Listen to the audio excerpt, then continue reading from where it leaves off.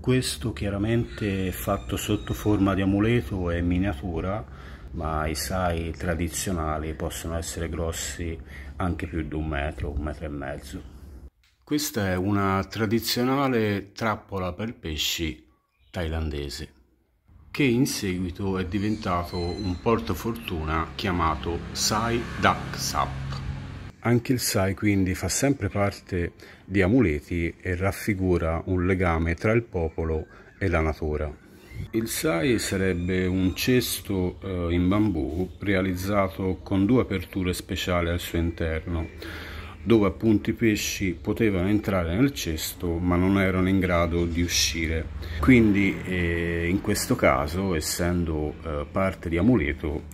eh, permette alla ricchezza di entrare in tuo possesso, ma non permette che ti sfuga tra le dita e te la mantiene al sicuro al suo interno. Anche qui viene raffigurata Menanqua, sarebbe la dea della ricchezza e fortuna,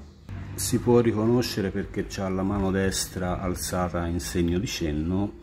però in questo caso non tiene la sacca di monete sul grembo ma dovrebbero essere queste qui e poi qui chiaramente vengono raffigurati i pesci per riuscire ad avere l'effetto di fortuna e denaro andrebbe appesa all'interno della casa con la bocca rivolta verso l'esterno sia del negozio o abitazione ma non va mai puntata la bocca del sai né di lato né all'interno della casa.